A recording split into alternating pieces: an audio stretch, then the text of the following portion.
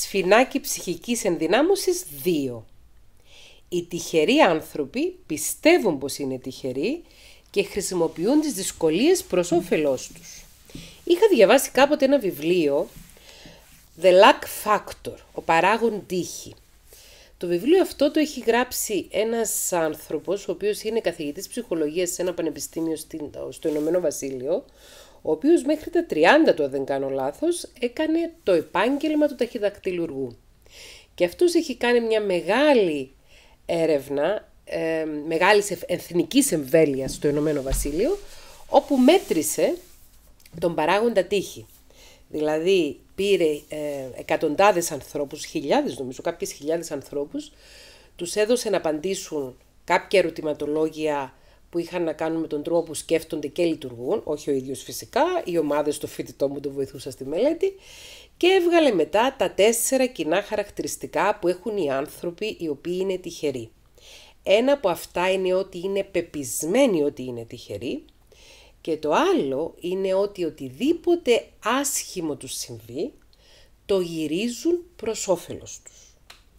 Αυτό το, για αυτό το χαρακτηριστικό θέλω να μιλήσω σήμερα. Είμαστε στο σπίτι. Υπάρχει καραντίνα. Είμαστε κλεισμένοι. Δεν μπορούμε να βγούμε έξω. Δεν μπορούμε να πάμε σε εκείνο το πάρτι που είχαμε προγραμματίσει. Έχει ακυρωθεί ε, το σεμινάριο που θα θέλαμε να πάμε. Ε, έχουν αλλάξει τα σχέδιά μας, έχουν ναυαγίσει. Έχει γίνει κάτι αρνητικό.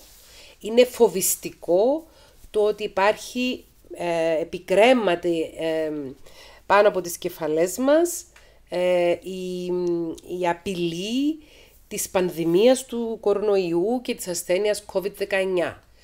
Αυτά είναι άσχημα πράγματα, είναι κακά πράγματα. Μπορούμε όμως, εάν το θέλουμε, να τα γυρίσουμε προς όφελος μας.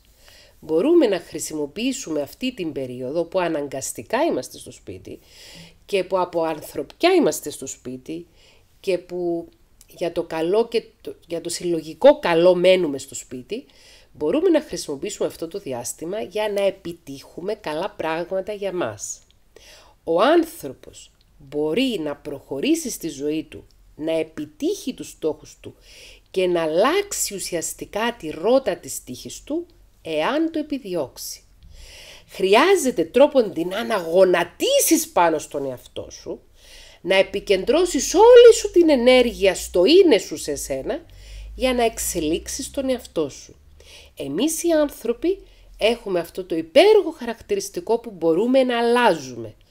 Τα πάντα ρί, έλεγε ο αρχαίος Έλλην φιλόσοφος. Τα πάντα είναι ρευστά, τα πάντα αλλάζουν. Αυτό εφαρμόζει και στον τρόπο με τον οποίο λειτουργεί ένας άνθρωπος. Μπορούμε να αλλάξουμε, να γίνουμε καλύτεροι ή να γίνουμε χειρότεροι. Στο χέρι μας είναι να χρησιμοποιήσουμε αυτή την δυστυχία ως μια ευκαιρία, μια μεγάλη ευκαιρία για να καλυτερεύσουμε τον εαυτό μας. Τι είναι αυτό που θέλαμε να κάνουμε τόσο καιρό; Να ξαναγγίξουμε εκείνο το πιάνο όσοι κάναμε μαθήματα πιάνου και το έχουμε αφήσει στην άκρη; Να ασχοληθούμε με εκείνη τη ξένη γλώσσα που μας άρεσε τόσο πολύ και θα θέλαμε να την τελειοποιήσουμε ή απλώς να τη μάθουμε; Να καταπολεμήσουμε μια κακιά μας συνήθεια; Και δεν είχαμε το χρόνο για να το κάνουμε αυτό. Να γυμνάσουμε το σώμα μας μπορούμε να γυμνάσουμε το σώμα μας και μέσα στο σπίτι, για παράδειγμα. Υπάρχουν εξαιρετικά βίντεο που μπορούμε να βρούμε στο διαδίκτυο από επιστήμονες ε, του αθλητισμού και της ε, φυσικής άσκησης. Ε, sports and Science είναι, είναι σπουδή που έχει κάνει ο γιος μου αυτή και ξεχνάω να την πω.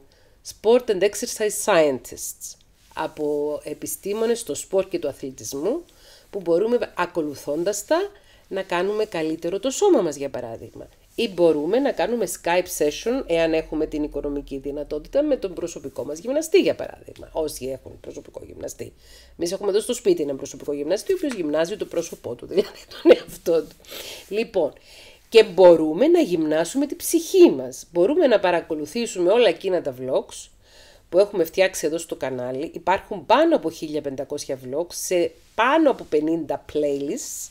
Playlists είναι οι λίστες που περιέχουν θεματικές με διάφορα video vlogs, μπορούμε να παρακολουθήσουμε παλιά vlogs τα οποία τα έχουμε ξεχάσει, δεν τα έχουμε ξαναδεί και να εξασκηθούμε στη ψυχική μας υγεία. Ο τυχερός άνθρωπος είναι αυτός που παίρνει μια άσχημη στιγμή, μια δυστυχή κατάσταση και την κάνει ευκαιρία για αλλαγή. Μπορούμε.